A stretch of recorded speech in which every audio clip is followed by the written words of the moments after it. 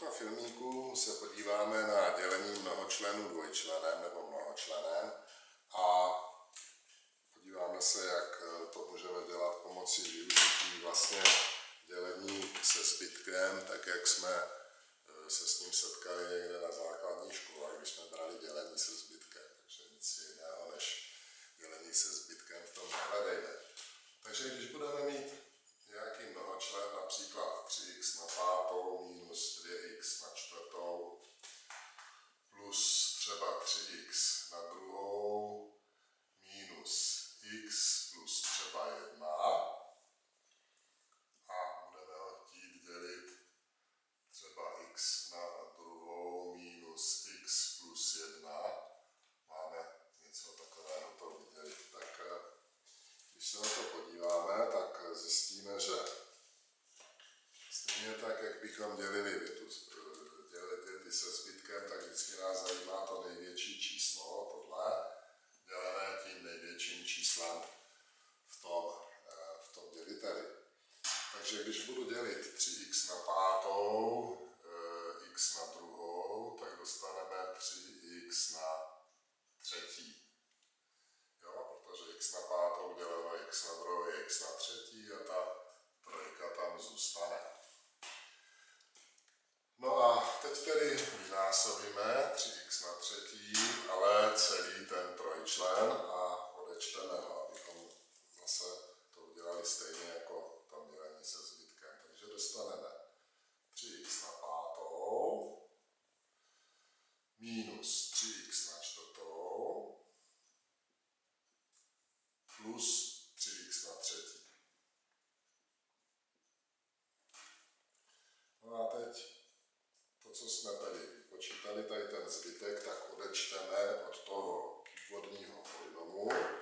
To znamená, že to dáme do závorky a napíšeme před to minus a budeme odečítat. Takže 3x na pátou minus 3x na pátou je 0. Minus 2x na čtvrtou. A teď pozor, minus a minus nám dá plus. Takže máme plus 3x na čtvrtou minus 2x na čtvrtou je 1x na čtvrtou. No a teď tady bude minus 3x na třetí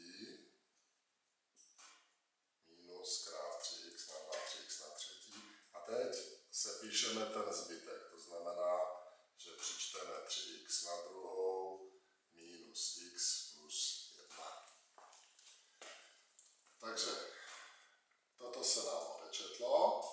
Teď pozor, tady máme minus, minus se nám dá plus, minus 2x na čtvrtou je 1x na čtvrtou, minus 3x na třetí neopíšeme a teď tady máme ten zbytek. No a zase budeme dělit největší číslo největším číslem. Takže x na čtvrtou děleno x na druhou je x na druhou, jenom jednou. Jo? x na čtvrtou děleno x na druhou je x na druhou. A zase budeme roznásobovat, takže nemusíme o tom moc přemýšlet. Tady bude x na čtvrtou, minus x krát x na druhou je minus x na třetí. A konečně plus x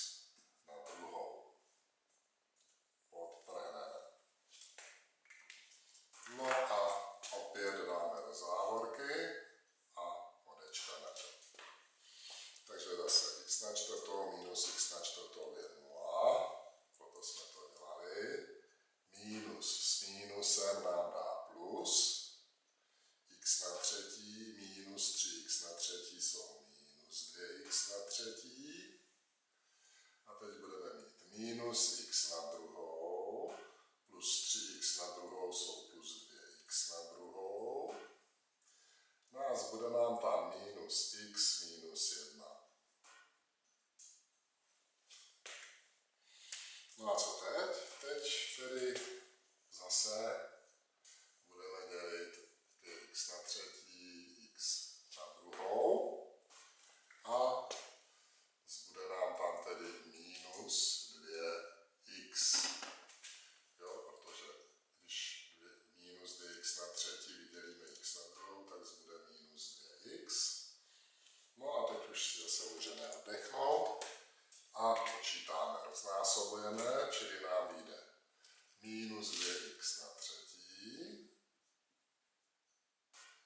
minus 2x na druhou,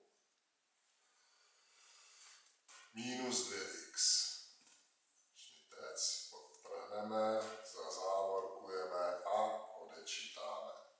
Tady nám opět vyjde 0 a teď tady bude plus a plus, jsou plus 4x na druhou, plus 2x minus x je plus 1x a zbude minus 1. No, tak teď vypadá, že jsme u vítězného cíle. Takže teď budeme dělit 4x na druhou o 5x na druhou a zjistíme, že to je tedy čtyřka. No, takže teď už jsme vlastně na konci toho dělení jako takového, takže vynásobíme to zase všechno. Dostaneme 4x na druhou minus 4x plus 4. Zazávorkujeme, odečítáme. Takže co pak dostaneme? Tady pro velký úspěch jde 0. Teď tady bude plus 4x plus x je plus 5x. A minus 4 minus 1 je minus 5. No a to, co tady máme, tak to je vlastně zbytek. Tohle je ten zbytek. Podělení, protože 5x dělit x na druhou už nedává smysl. No a můžeme to nechat takhle v tomto zápisu, nebo častěji se to dělá tak, že přečteme ten zbytek takovéto